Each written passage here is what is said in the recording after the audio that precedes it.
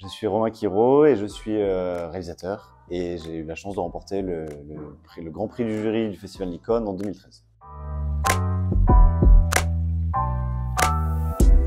Dans un premier temps, c'est ça. Puis après, j'ai eu la chance de le gagner. Donc, j'ai gagné un Nikon avec lequel j'ai beaucoup voyagé, avec lequel j'ai fait quelques films. Donc, euh, du coup, cette marque fait un peu partie maintenant de, de, de mon histoire. Fait, en tant que réalisateur, été amené à réaliser, des, pubs. Et un jour, je me suis retrouvé euh, à faire une pub pour les Nikon. Donc, j'ai découvert leur existence à ce moment-là.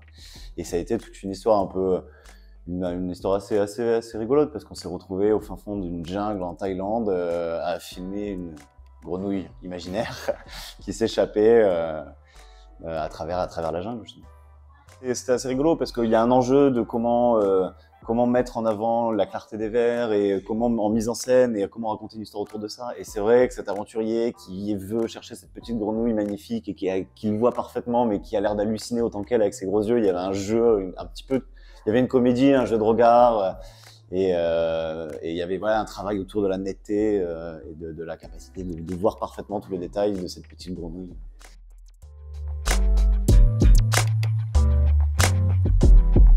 Je regarde un super souvenir, c'est quand, quand même une chance à un moment de se retrouver dans une jungle à filmer une grenouille imaginaire avec un aventurier qui lui court après. C'est des, c'est des souvenirs en tant que réalisateur, je, me sens hyper chanceux.